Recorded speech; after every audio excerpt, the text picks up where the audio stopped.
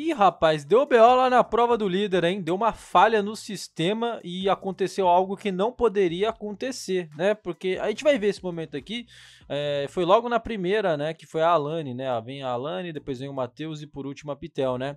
Logo na primeira já deu problema, já deu um BOzão, enfim, vai ter que. Assim, eu, isso foi perceptível, a gente pensou, putz, na hora ali que aconteceu, eu falei, ué, mas pode ficar em pé? Então qual que é o sentido de vir, né? Lá de cima e ter todo esse trambique todo, né? Uh, não faz sentido. E de fato não faz. Quando a prova estava prestes a acabar, o Tadeu interrompeu a prova e foi para o intervalo. Vai ser refeito, né? Vão arrumar de novo ali.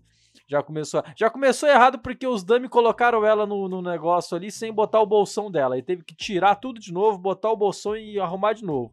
E aí deu errado de novo. Essa prova tá difícil, hein? A gente vai seguir acompanhando mais detalhes nos próximos vídeos.